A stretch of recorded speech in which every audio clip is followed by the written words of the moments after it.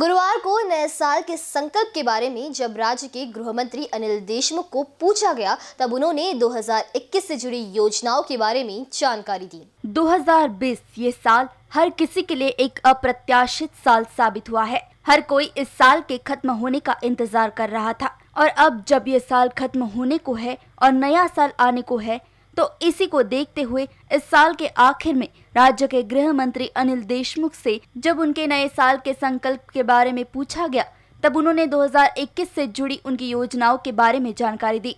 इस दौरान उन्होंने कोरोना, शक्ति कायदा, पुलिस आवास समेत अन्य मुद्दों पर जानकारी दी। नवीन वर्षासाठी तर आपल्या सर्वांना कल्पना आहे की गेल्या दहा अकरा महिन्यापासून आपण कोरोनाच्या संकटाशी आपण लढतोय.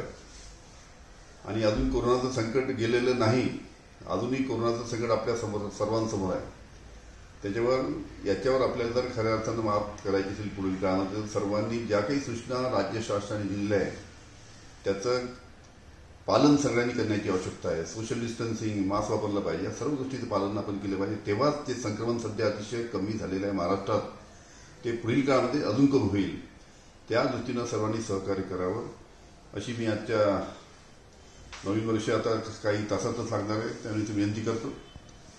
आणि त्याचबरोबर पुढचं जे नवीन वर्ष आहे त्यामध्ये अनेक महत्त्वाचे प्रकल्प आम्हाला राबवायचे खास करून जो शक्ती कायदा आम्ही आणतोय महिलांवरील जे अत्याचार जे होतात अतिशय दुर्दैवी घटना ही आहेत आणि त्याच्यावर अशा पद्धतीनं अत्याचार झाल्यानंतर त्या आरोपीवर कठोरात कठोर कारवाई लवकरात लवकर झाली पाहिजे.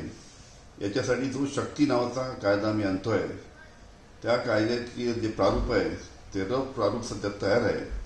आणि जवळजवळ एकवीस आमदारांची कमिटी आहे जॉईंट सिलेक्शन कमिटी सर्व पक्षीय आमदारांची कमिटी आहे. त्याची एक पहिली बैठक झाली. दुसरी बैठक लगेच पाच तारखेला होणार आहे. आणि पुढच्या मार्च महिन्यामध्ये जे आमचं अधिवेशन आहे त्या अधिवेशनामध्ये महिलांवरील अत्याचारांच्या बाबतीत अत्याचाराच्या बाबतीत हा जो कायदा आहे शक्ती तो आम्ही मंजूर करण्यासाठी सर्व आमदारांना विनंती करू. आणि हा कायदा आल्यानंतर ज्या ठिकाणी महिलांवर अत्याचार होईल त्या ठिकाणी फास्ट ट्रॅकवर आणि कठोरात कठोर कारवाई झाली पाहिजे या दृष्टीनं हा कायदा राहणार आहे. आणि त्याचबरोबर अनेक महत्त्वाचे प्रकल्प आमच्या सर्वांसमोर आहे खास करून पोलिसांच्या ज्या हाऊसिंगचा प्रश्न आहे. पोलिसांच्या घराच्या बाबतीत जवळजवळ एक लाख घरं पुढील काळामध्ये आम्हाला पोलिसांसाठी बांधायचे आहे त्यासाठी एक नवीन प्रस्ताव आम्ही केलेले आहेत त्या प्रस्तावाच्या माध्यमातून माननीय उपमुख्यमंत्री माननीय मुख्यमंत्र्यांना मी तो दाखवलेला आहे. त्यांना सुद्धा तो प्रस्ताव आवडला आहे.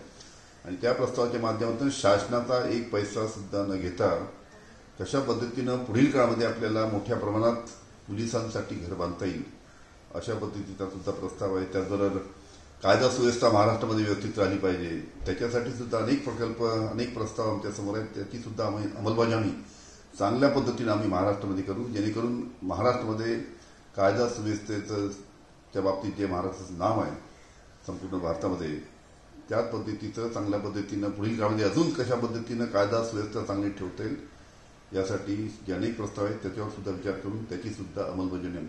इस दौरान उन्होंने राज्य में नियमों को और भी सुचारू रूप से लागू करने की भी बात कही। साथ ही आने वाले दिनों में राज्यों में चीज़ें और भी अच्छे तरीके से लागू होगी, ऐसा आश्वासन भी दिया।